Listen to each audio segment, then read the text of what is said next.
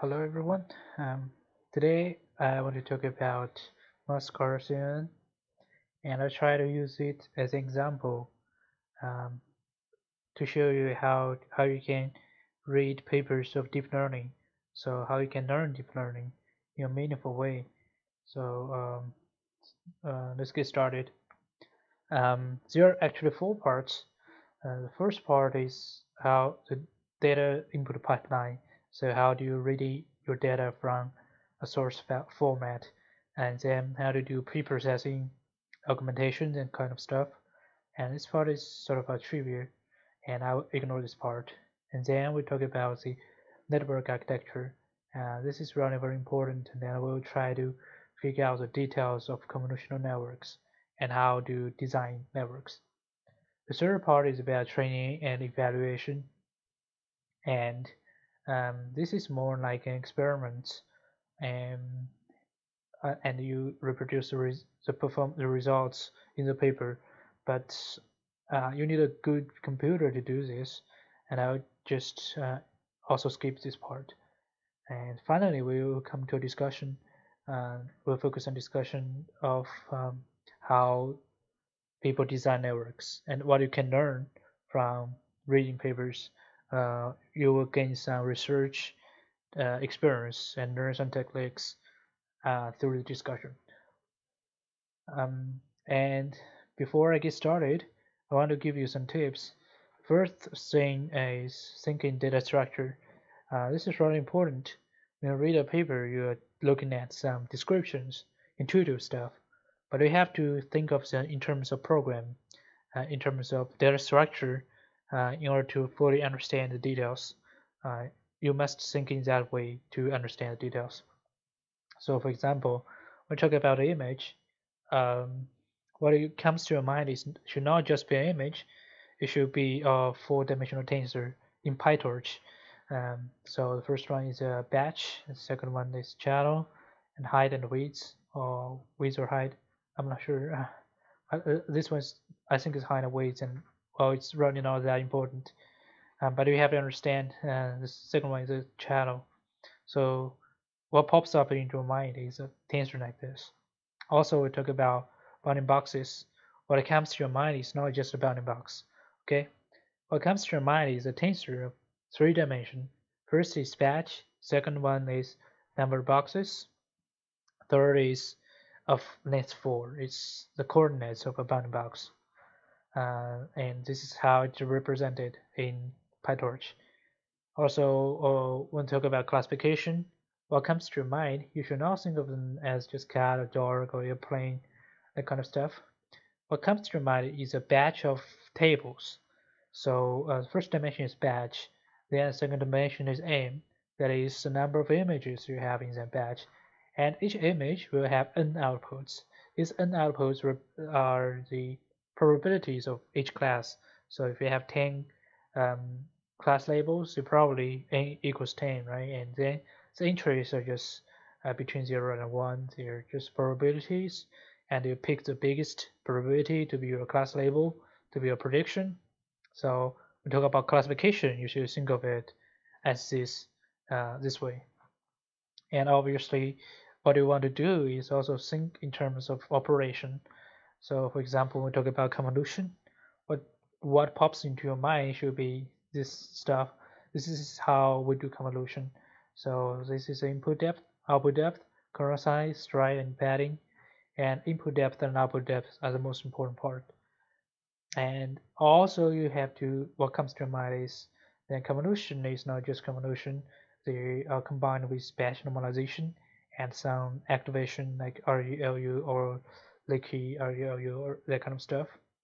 So basically, these three operations are most of, mostly used together. So when we talk about convolution, you should these things should pop up in your mind. And the third thing is the example questions that you can ask whenever you read a paper. Uh, first question you can ask is, what is the main contribution of this paper? So, for, example, in Mask RCNN, why do you want to do classification, detection, and segmentation three things together. Why do we want that? And can they help each other? Or what's the difference? So um, after you have this main contribution, then you have to ask, how did he do that, right? What's the key idea? Um, and also, uh, we would like to see um, where is the idea come from, and this part is very important. Um, so, uh, and th what this means is like uh, a lot of the papers they're not just uh, built from uh, out of nowhere. Their ideas they might, they always refer to ideas from someone else. So, um, for example, well, the first time I read SSD, I think the SSD detector is really a, a, a, very good thing. Everything says in the paper, it makes sense and it's perfect. So we cannot make improvements over there. Um, but then the in another paper called Feature Pyramid Network, it says that SSD is good, but the way it creates its features is not good enough. And then we propose a different way uh, to create uh, a feature pyramid. Uh, that's what we call feature pyramid network. And then th this feature will be better at predicting small objects. So, and this idea is used in Mask RCNN. So you see when we uh, when they always say like uh, from paper uh, what what paper the idea is good but it's not good enough so we make improvements and it's really important that you focus on how when the in the place where the paper says that they are making improvement. So and you have this is always you can learn how to make improvements.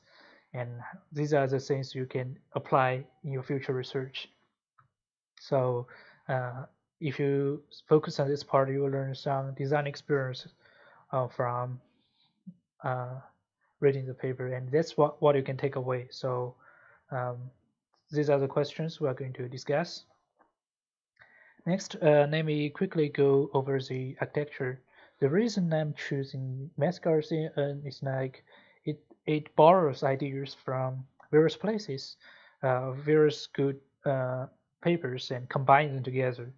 So it's really good. Like if you combine other people's together, ideas together, get a very good result. So the basic feature extractor is uh, ResNet, and it's a very good network.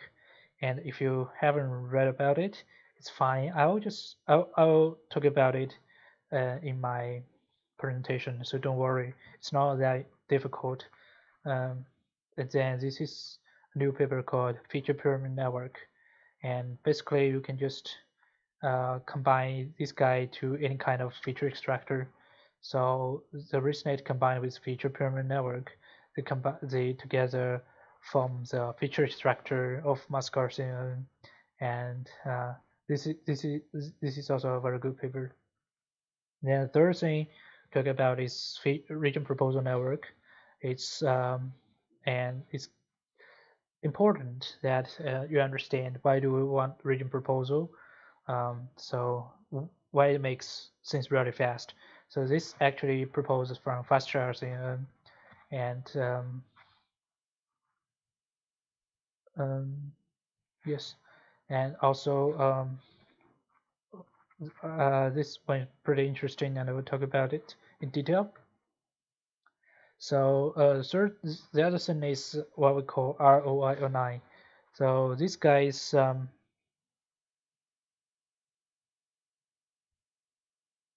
oops.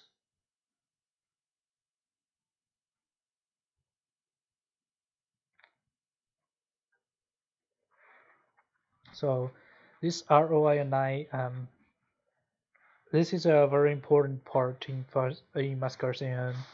So many people they have read the paper faster CNN and they all they all come up with the idea like why can't we do segmentation right? When we have the batch, we, when we have the regions and their class labels, why don't we do a segmentation? Um, I, I believe that some other people maybe try this idea or they, they can pop up with this idea. It's very natural. When you have um, classification detection, you also can do segmentation. But this idea is quite intuitive and but it's not that really uh, easy to implement. So the key key idea, key thing that makes sense uh, that boosts the performance is this ROI alignment operation, and you have to understand why uh, why what what this operation is and why we need that. So, um, and the head, what I mean the head is usually the layer that's when you have the feature you put in the head, then it produces output. So that's what I mean by head. And the uh, loss function, this is a very important part. Uh, in my opinion, that the loss function, in, uh, it will really affect the final performance of your design. So if you have a bad design loss function, then probably won't succeed. Uh, and there are different ways to design to design loss functions, especially you do some regularization or you do some trade-offs in detection. So in capsule network, uh, there's a very novel way of doing recon doing regularization using reconstruction error, and that's really very interesting. But here uh, we are doing a multitask loss. Uh, that's we have to balance classification, detection, and segmentation. And also in YOLO, we also have a trade-off between designing these NOS. Here we also so uh, over here we focus is how we design those functions, and um, the second thing is when you have the theory, you have the experience of designing those functions, how to implement them in Python and this is a very important thing. So many people when we when they talk about loss functions they know that but they don't know how to do that in python. How do you calculate the area of a bounding box? How do you calculate the IO the intersection of a union or that kind of stuff? It's really very simple uh or I mean there these operations that are really reproducible. You can just see how people actually calculate this doing these calculations in Python and uh, just understand that, uh, use it, put it into a library to use. So in the future, when you see a loss function, you're not just, it's not just a loss function. It's a, it's a piece of code you can really see. So this is also very important. And about training, so training is about some parameters or something, but uh, it's really not very important uh, in this lecture. Um, what's special about Mask RCNN is it's actually the same like Fast RCNN. It's got a region proposal network, and you have to do some alternate training or something. So what you need to understand is how to fix some parts of a network while training another part. Uh, I would just that, that, that's the only thing I want to talk about in training. So uh, let's talk about the data flow uh, first, we read in the image as a batch, then we extract features using feature pyramid. Um, so this image is actually from taken from in paper. So uh, this feature is just uh, like this, just think of it like this. But in fact, now we are having a feature pyramid. Then it goes to the region proposal network. It generates some region proposals. It combines features over here and then you go here is uh, ROI pooling but uh, this is from Mask RCNN so it's not just pooling zero also alignment um, what this means is you have this feature in different shapes different aspect ratios different scales. Uh, but we have to pool these features and group them together like the same shape and so that we can do some convolution operations uh, for classification or or you can generate masks and then compute uh, loss functions. Uh, that's basically the overflow, overall flow. And uh, here I'd like to start from the second one, go through the region proposal and general proposals. So this actually is the same as Fast RCNN, uh, and I want to start from here to make things simple. Then I will go down here and go up over here. Uh, but today let's go focus on the region proposal. Uh, so region proposal network. Um, a region proposal network takes an image of any size as input and output a set of rectangular object proposals, each with an object scope. So this is an intuitive illustration, and this is what people say in the paper. But uh, when you really think of things in detail, you will find that uh, things are not not that easy. It's not actually what you you expect it to be. So our input in terms of data structure is a batch of features shadow, height and width. And then we have the intermediate output. We don't have direct output, we have an intermediate output. So the region proposal class logits, that's the object go. We have foreground and background, and the class uh, is just the which one is bigger. So the class and the bounding box. The bounding box is not coordinates; they are deltas, delta of coordinates, and I'll explain soon what this delta mean. So it's running not just bounding box coordinates. Then we will do some operations. We will get our final bounding boxes. It, it's batch and number of bounding boxes. This four means it's coordinates. Um, and the coordinates are normalized. So they're between 0 and 1 and it's still different from what you expect, right? It's not just like these coordinates. So this is in terms of data structure. This is the intuition you see it's quite different and we have to go in further detail and see how we can implement this uh, region proposal network. And so this um, slide I'm going to talk about anchor boxes. Uh, anchor box is really one of the best, uh, greatest inventions like for detection. It boost things. It's used in SSD and YOLO and Fast RCNN and in order to understand what it is, um, first uh, let's uh, understand the the old way people do is that want to when we have an image we resize it in different scales and then we extract features from different from these images and then we, we try to use this to deal with scale invariance so if you have a big dog and you have a small dog it doesn't doesn't matter. If you extract features like this you will probably get a small object. And this this way is that we only use one image but we use different uh, size of filters to uh, do this. Um, but uh, these two ways are, are both computationally expensive.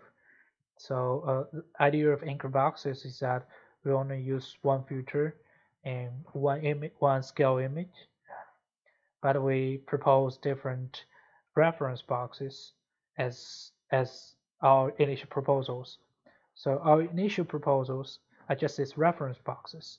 These are called anchor boxes. That's the idea. So uh, th that means these ideas are just free, right? They're just free. They come out of no. They're just fixed, and they don't need to do anything. And uh, we will see in detail like how how they are represented and what they, what actually does these anchor boxes mean. But here, just get an intuition like these anchor boxes are free just uh, each position you have some reference box that's it. And then we have to understand the problem of bounding box regression. Uh, so what is bounding box regression? We input is uh, the training pairs. So this is your input you have some coordinates and uh, this is x y means the center of the bounding box wh means width and height and then we have the G means the ground truth box. This is the ground truth box, and this is our input box. And our task is trying to do regression. That is, we try to estimate a mapping from our proposal to the ground truth. So this this, this mapping is expressed uh, using this formula here, and they do this for some numeric reasons uh, or something like Sometimes it takes exponential, sometimes it takes a square, uh, square root. Uh, well, just see, this is just a mathematical formulation. But the main idea is we have the mapping, uh, we have the proposed box, we estimate the mapping, then we have the predicted boxes.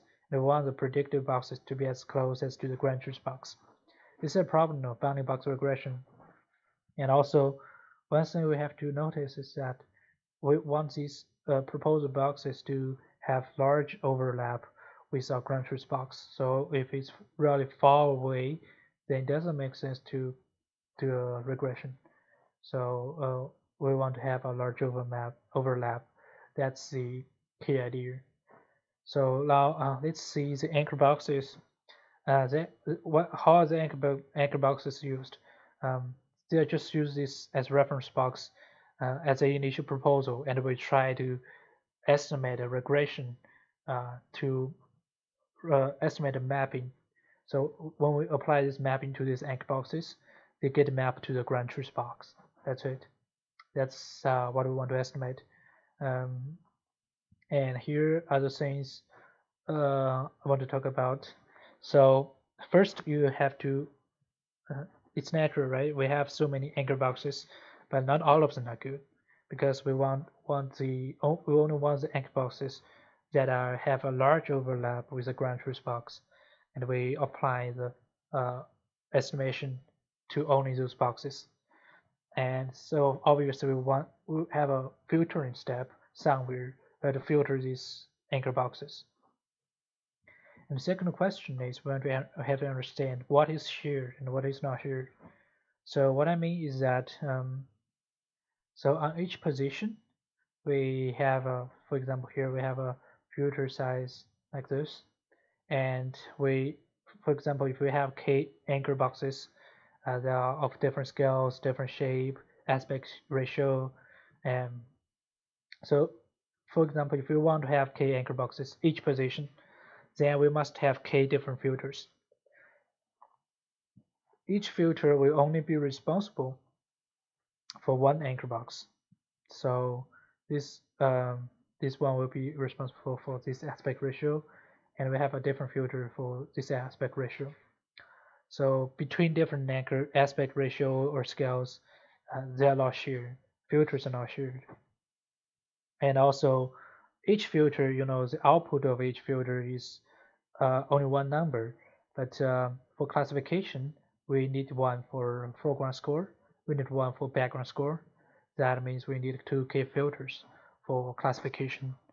And uh, for regression we have like each box we have four coordinates. So we need four filters for each aspect ratio for each box. That means we have 4k filters for all the anchor boxes um, this is only for one position but uh, convolution is shared across different positions so uh, these filters are shared across the position, but within each position, uh, between different anchor boxes, they're not shared. So they do their own job.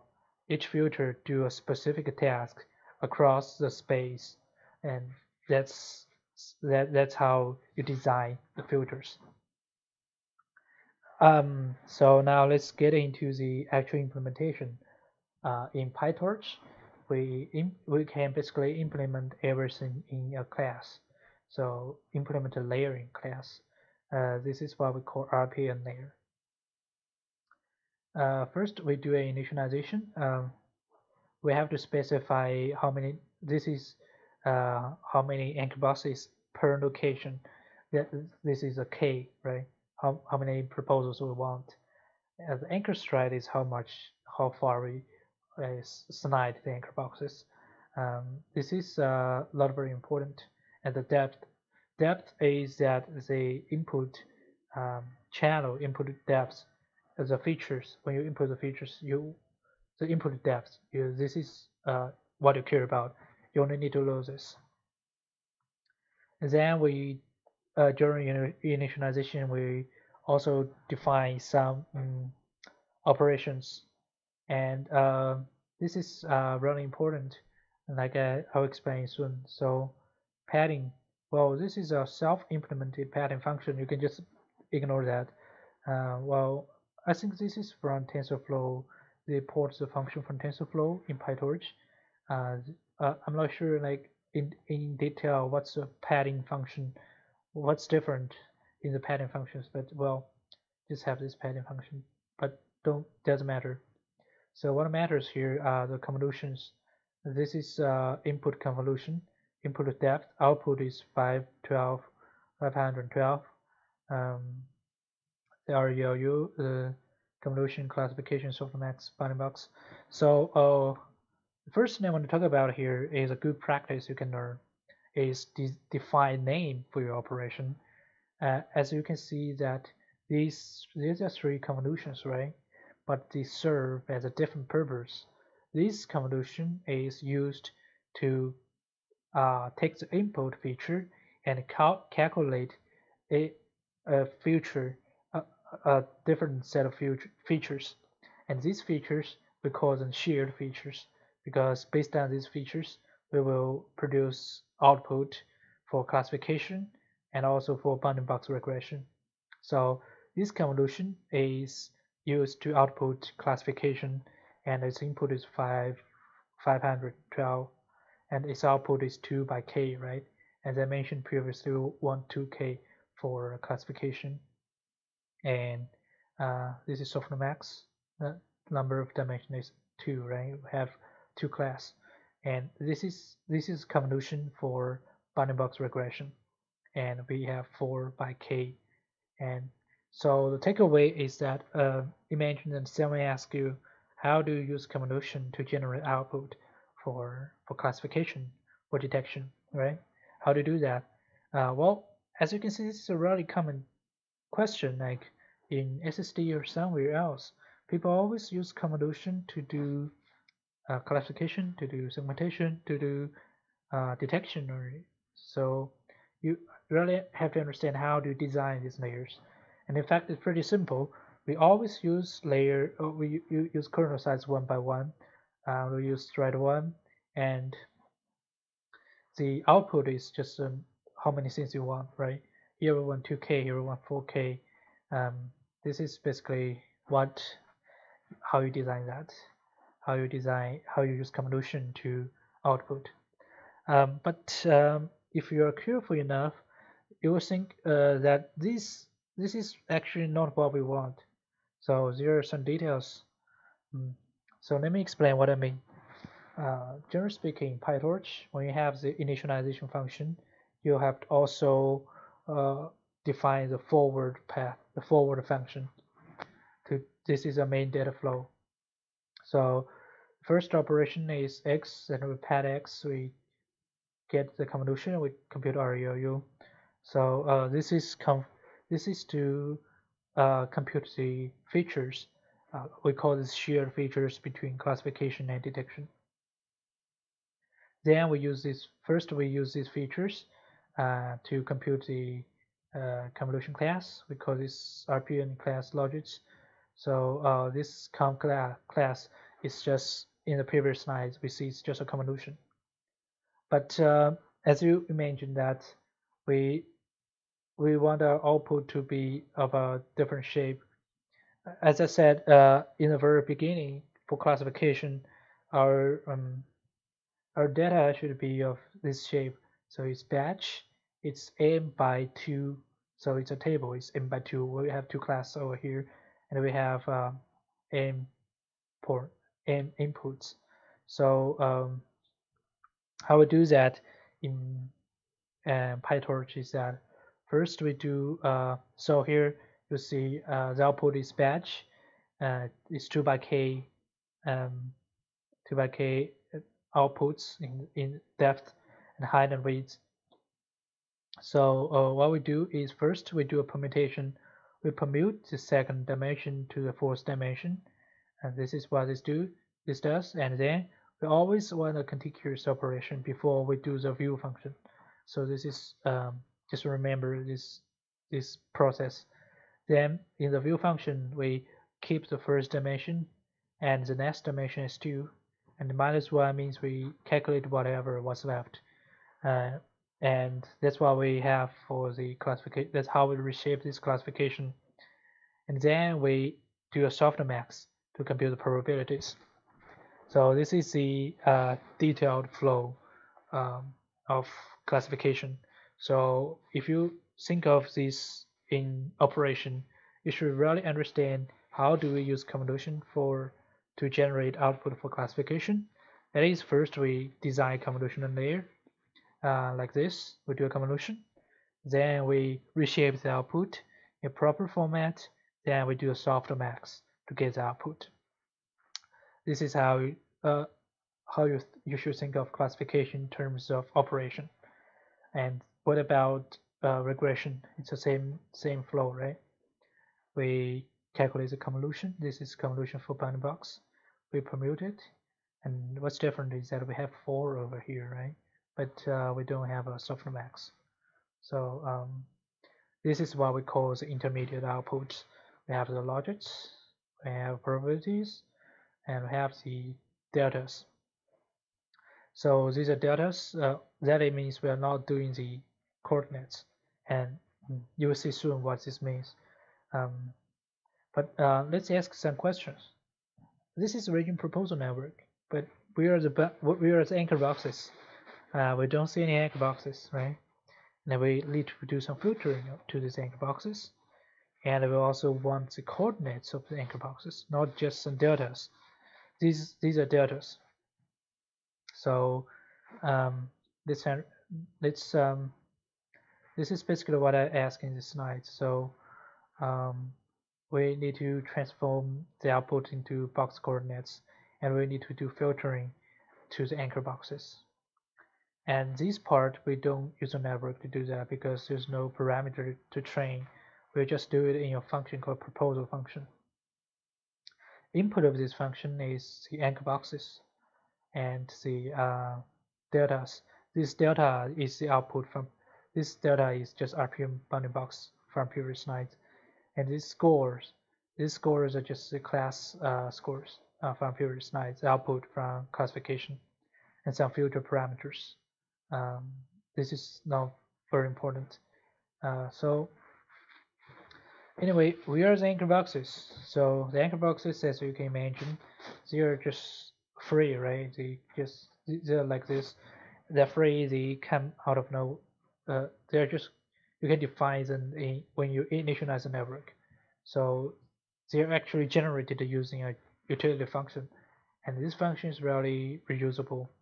So um, you can see here this is just a re reusable function doing this, and you have to specify the scale, the ratio, stride, um, different kinds of hyperparameters. But anyway, you can have your anchor box, number of boxes, and the uh, four coordinates, but uh, they're not in batches, so there's no batch.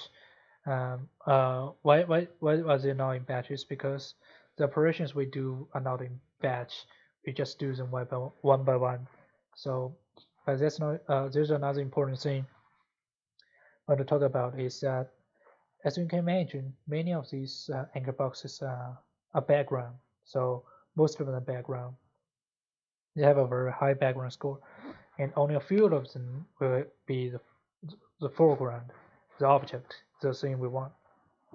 So if we want to do filtering, hmm, do we use foreground score or background score? Of course, we want to do the uh, foreground score because if you use the background score and uh, most of the things, uh, most of the most of the boxes are background scores. So um, with sorting, you will have um, uh, so okay when you when you sort them, you will not have a very um, you sort, uh, most of them are in the end, in the very last part, and these are not good. So, uh, but you can do a reverse sort. That's it. Um, but here we're using the foreground. Um, uh, when you do the argmax, you do the foreground foreground score um, because here uh, it's just a matter of choice, right? here we just choose a foreground score. Now the input is uh, probabilities in the bounding box, and so you can see batch anchors, and these these are not just these are not x x1 one one these are deltas. So these are just the small displacement that we are going to apply to the um, anchor box. So remember, like I said, uh, the problem of uh, bounding box regression is that we're trying to estimate the mapping from uh, the anchor boxes, the initial proposals, to our ground truth box. So um, this mapping is represented by these four numbers. So once we apply these things to our um, reference boxes, anchor boxes, then it will be the ground truth box, the, our prediction of object. And these things are computed by adjusting the parameters in the region proposal network. So that's why we want to train it. and uh, obvious first we want to squeeze the input we only support batch of number size one uh, because our anchor uh, because of our anchor boxes don't have a batch dimension and we use squeeze and unsqueeze to expand dimensions and then we use foreground score so uh, the inputs the first inputs we choose the uh, this is background score foreground score and we choose the foreground score. Because this is squeezed so this one is not here and we just choose the second dimension and use uh, one the foreground score. Then we do a sort and uh, um, sort is really a very uh, important uh, operation when you do operations to bounding boxes. Uh, so uh, first here is that we do a limit. We want only these are 6000 uh, boxes or if it's not uh, bigger than 6000 then it's just whatever you have. And then we do a sort use a descending order. We have the scores in order. So this is descending because we have some foreground we want the large foreground scores so if you're using the background scores you probably want the ascending sorting and uh, I'm not sure like why whether what whether this is faster or not, but yeah, this is um, what they did. And then they have this order information in this one. Uh, they have these scores over here. Um, obviously, this may this this will be a non-vector, and we only want the whatever number um, boxes we want. So we take the first. Uh, let's say 6,000. Okay, we take the first 6,000 order, first 6,000 scores, and of course we choose the anchors of all these six. So this is basically a filtering uh, in Python, right? When you do a selection using index anchors. So you have these uh, anchor boxes going out here. Um, but for the bounding boxes, uh, we will first do a standardization uh, before we do the selection. So if you select and standardize, well, I, I don't know if there's a big difference or not, but uh, here we just uh, standardize it first. Um, so this is a standard deviation, and we the delta as the inputs. Um, so this bounding box over here, we just inputs in uh, and we just multiply them. I, I, to be frank, to be frank, I don't know why they want to do the standardization, but they just did it. So, uh, but that's not really important. Then we do the filter using order data to filter the data. So now we have the, uh, for example, so in our example, we have like 6,000 um, bounding boxes uh, reference box, anchor boxes selected. And then we want to apply this uh, our transformation. We want to apply the our displacement to these reference boxes to get our predictive box. And we also want a clip operation. What this means is some of the boxes come out of the image. So we have a clip operation. The idea, so first we apply box delta uh, the input is anchors and the filtered anchors and filtered deltas. Then we got our boxes. Then we have our image shape, get our height and width uh, image shape, and then we do a clip. This clip basically is this operation. So you need the window information. So exactly how, how long is your window and then you clip those boxes. So this window is a four dimension. This is just construct the window as a four dimension and this is come from our image shape. Uh, this this is config. This is basically a hyperparameter you specify for the network. And how do we actually do these two operations? Um, apply box delta. So um, that is from this. This is the reference coordinates. Then we want to do it in this in different formats. So um, basically, um, you know the anchor boxes there in x1 y1 x2 y2 but uh, in in our this in this formula the x y are center of your of bounding box and WH are the height and width. So you first uh, convert x convert things into height width center coordinates. Then you apply the deltas using exactly this formula. So it's not difficult to see how do you do that. And then you transform uh, them from back to the coordinates format. So from center height width to x1, y1, x2, y2. Then you stack this as a result. This is how you apply these deltas to your reference anchor boxes. And then now you get the predicted box uh, you have you want. And then uh, you do a clip. Uh, the the clip is used is actually just using the function of clamp.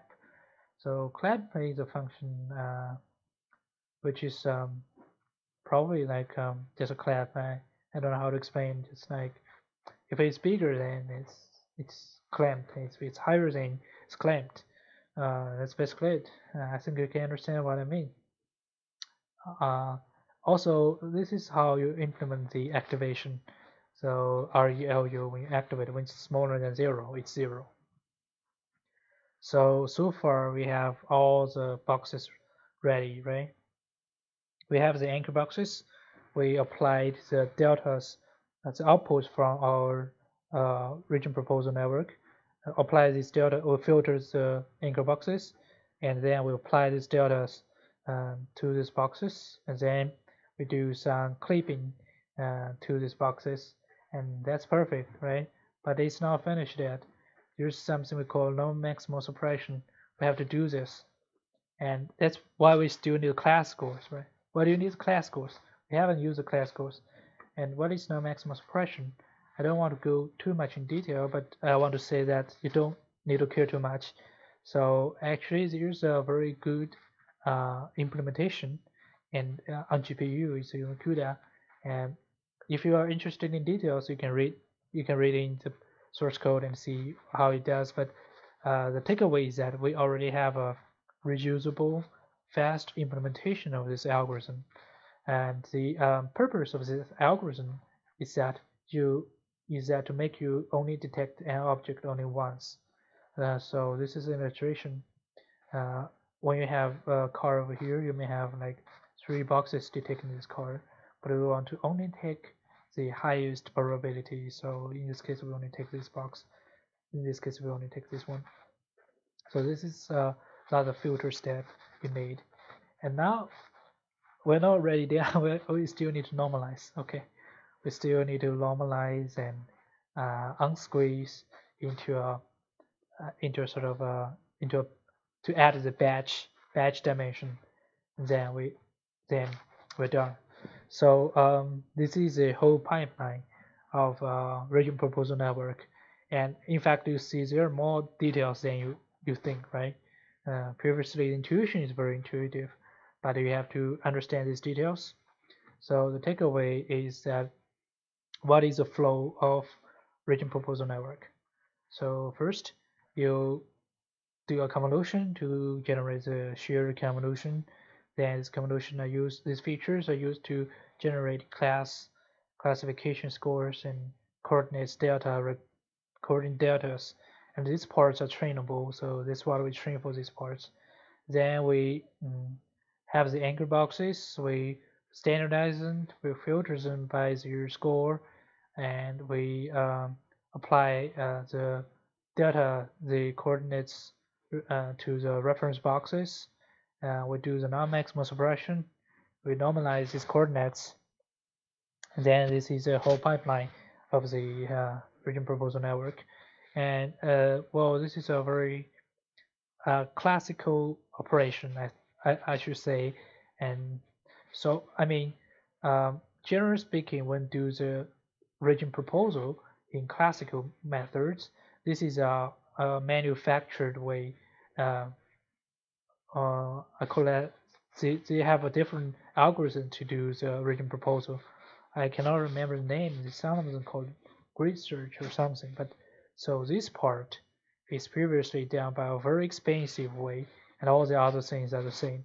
So this is a very classical standard. What this paper changes is only this part. So they, they're using a network to do this. uh, they are using the anchor reference boxes and use uh, convolutional network to compute the class scores and, re and regression and to make this part trainable. And that's what makes the difference. And that's how you I mean how, how you transform a classical algorithm into a deep learning uh, to use network to solve problems. And uh, the second thing I wanted to point out is that uh, the uh, state of object detection comes in two groups one is with region proposal one is purely regression based and I, I'd like to compare uh, these these two groups. So the regression based is YOLO and SSD, and but they also use anchor boxes. So it's good thing that, that in our discussion session we compare these two paradigms and see which one is better or how to improve or something. And third thing is like takeaway is that region based is sort of a uh, uh, meta algorithm that is region-based class. Basically, you can do region plus anything: region-based classification, region-based detection, region-based segmentation, region-based pose estimation. So basically, everything you can be region-based. So uh, that means uh, you can always attach a region proposal network to do something. So that's really a very this is really like an attention mechanism. And uh, I'm not sure like whether it works for most parts but region-based class is a idea that maybe you can uh, sort of take this whole pipeline and use it somewhere. Maybe someday you want to use it somewhere to solve your problem. So um, okay that's basically for this part. Next part of feature extraction but I will do it in, in a different video